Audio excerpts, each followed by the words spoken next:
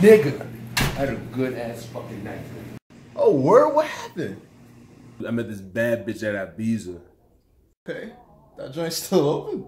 Nigga, hell yeah, that shit was open. That shit's bumping. It was bumping. All right, all right, all right, all right. Cool, cool, cool, cool.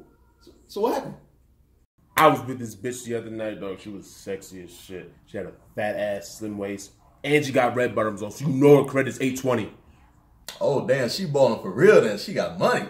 Bro, we get the dancing and shit. There was a crowd around us. I felt like I was that nigga. And she's extra aggressive on me now. And then when I grabbed her hand, I noticed that this bitch has bigger hands than me. But she said she played basketball. College basketball.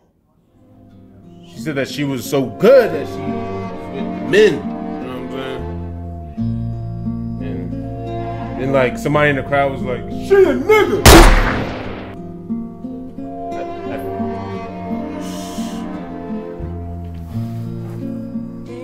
After day, You like the I dude! push against the clouds. A They nigga. just keep whole guy. A fella.